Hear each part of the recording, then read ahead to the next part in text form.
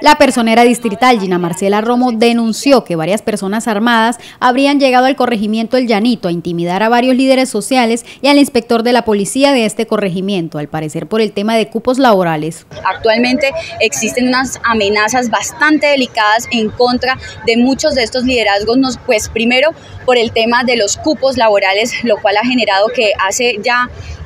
12 eh, días se presentó un inconveniente bastante serio donde alrededor presuntamente de 20 personas armadas llegan a un punto y eh, piden hablar con varios de estos liderazgos que estaban reunidos. El inspector de policía estaba al parecer allí presente y se han generado varias denuncias respecto a, este hecho. Por eso el día de hoy se realizará un consejo extraordinario de seguridad convocado por el señor alcalde para revisar este tema y poder tomar todas las medidas primero en aras de proteger a estos liderazgos que ustedes saben que ya llevamos tres hechos muy lamentables en cuanto a la amenaza, a la integridad física de líderes del llanito y pues igualmente revisar qué actor armado está generando estos hechos y qué acciones se pueden tomar en contra de él. Se espera que en las próximas horas las autoridades competentes se pronuncien respecto a este hecho que amenaza contra la integridad de líderes sociales del corregimiento El Llanito.